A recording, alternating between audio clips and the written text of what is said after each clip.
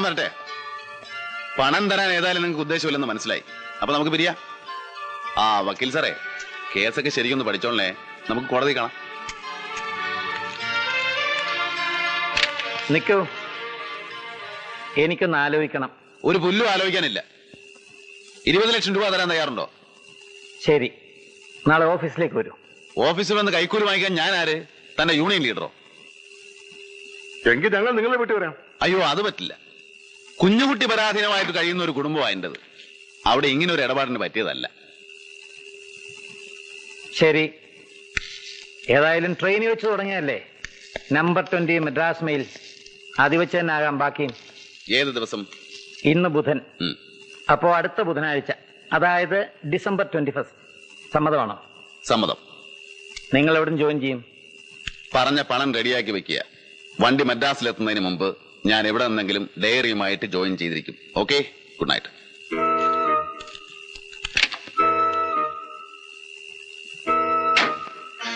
ആ പിന്നൊരു കാര്യം. ഒരുപാട് കള്ളത്തരങ്ങൾ ചെയ്ത ശീലം സാറിനുണ്ട്. ട്രെയിനിലും ആവക അഭ്യാസങ്ങൾക്കൊന്നും മുതിരരുത്. തനിയെ വന്നാ മതി. ഈ വക്കീൽ പോലും വേണ്ടെന്നർത്ഥം.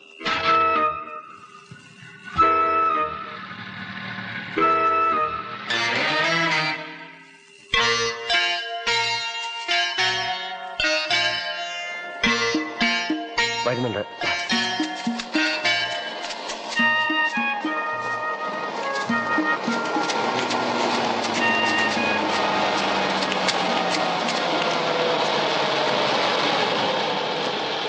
എന്തായി മമ്മൂക്ക? ഏ? എന്ത് പറഞ്ഞു? സംശയിക്കാനൊന്നുമില്ല. ആ നായർ തന്നെ എല്ലാത്തിനും പിന്നിൽ. അടുത്ത ബുധനാഴ്ച നമ്പർ ട്വന്റി മദ്രാസ് മെയിൽ വെച്ച് ചോദിച്ച തുക മുഴുവൻ തരാൻ സമ്മതിച്ചിരിക്കുക ബാക്കിയെല്ലാം നമ്മൾ പ്ലാൻ ചെയ്ത പോലെ. കേറ്.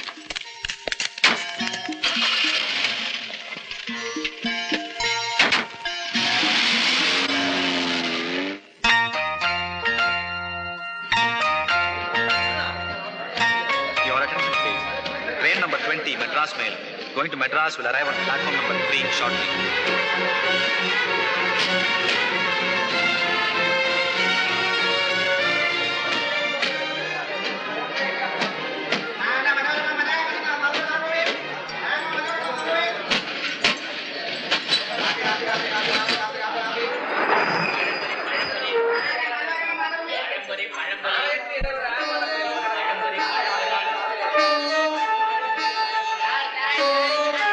യാത്രക്കാരുടെ ശ്രദ്ധയ്ക്ക് ഇരുപതാം നമ്പർ മദ്രാസ് മെയിൽ മൂന്നാമത്തെ പ്ലാറ്റ്ഫോമിൽ നിന്നും ഉടൻ തന്നെ പുറപ്പെടുന്നതാണ്.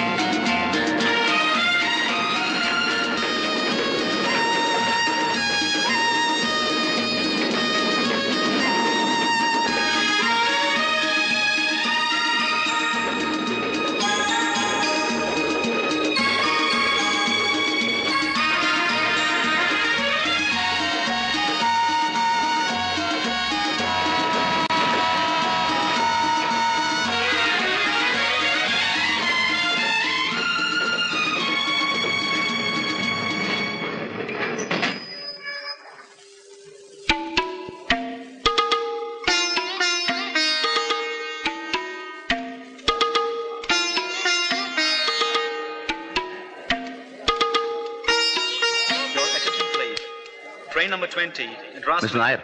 going to Madras, കഥം platform number 2 shortly.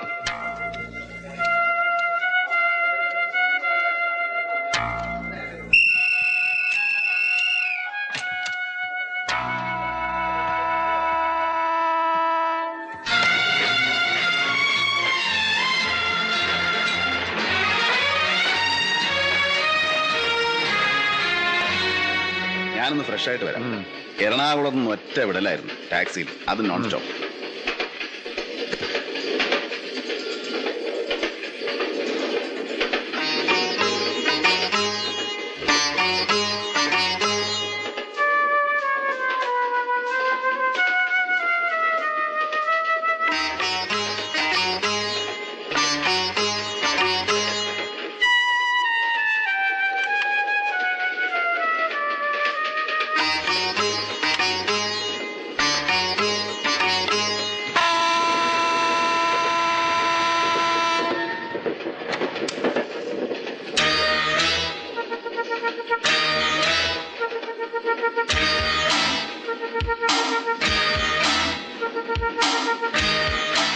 കൊമ്പിടി സാറെ വേണ്ട മദ്രാസേക്കാ അതെ കൈ നടത്തേ കൈ എടുക്കാൻ കൈ എടുക്കണം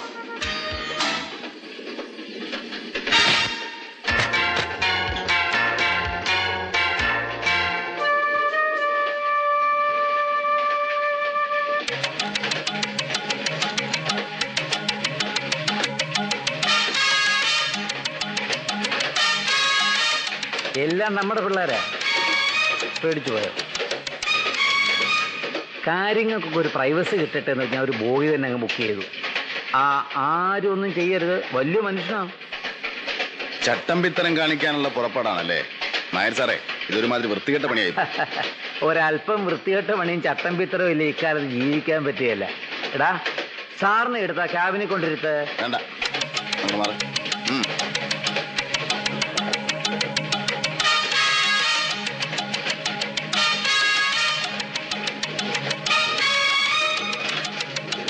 അല്ല ഇയാൾ എന്തെന്നാ വിചാരിച്ചേ? ഈ ഇരുപത് ലക്ഷവും മുപ്പത് ലക്ഷവും എന്നൊക്കെ പറഞ്ഞ് ബ്ലാക്ക് മെയിൽ ചെയ്ത് എടുത്തു കയറിയൊന്നും സിനിമയാന്ന് വിചാരിച്ചോ? താൻ എന്റെ ലൈഫ് ഇട്ട് ശരിക്കൊന്ന് കളിച്ചു. അസൽ സിനിമ സ്റ്റൈലിൽ ഇനി മതി. ബാക്കി ഞാൻ കളിച്ചോളാം. ആ ഡേറിയുടെ ഏതായാലും പണം തരാമെന്ന് പറഞ്ഞ സ്ഥിതിക്ക് ഞാൻ പറ്റിക്കുന്നില്ല. ഒരു നൂറ്റൊന്ന് രൂപയാണെങ്കിൽ തരും. Be a good boy. Diary ഇടറാ this is cheating mister Nair diary തരാൻ ഞാൻ ഉദ്ദേശിക്കുന്നില്ലെങ്കിലോ.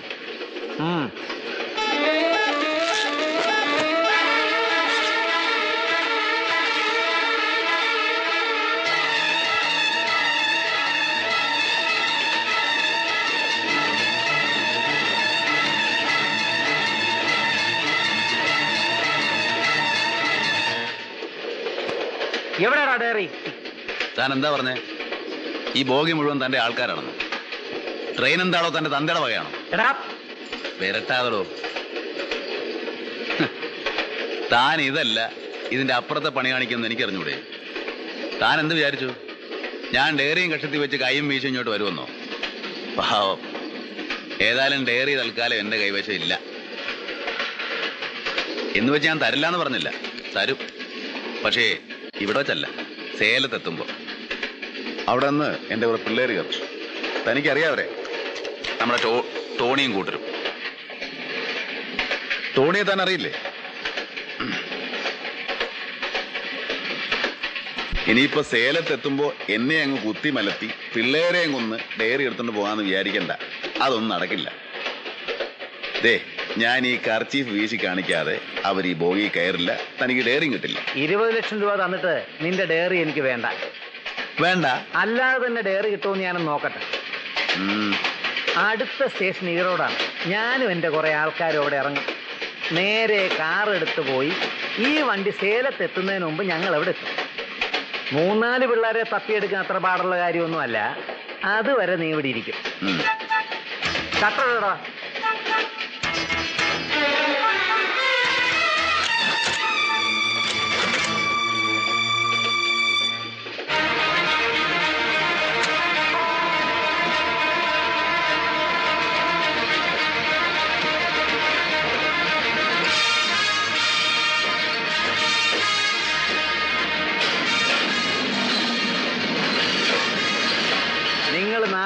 എന്റെ കൂടെ വരണം. ഇവനെ പ്രത്യേകം ശ്രദ്ധിച്ചോണം. എല്ലാവരും അകത്ത് പോയി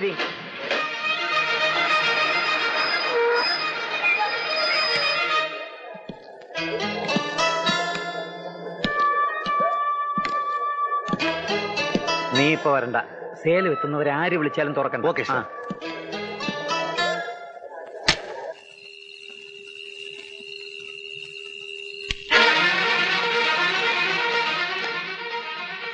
ஏய் என்ன சார் எங்க போனா சேலம். சீக்கிரம் சரி சார்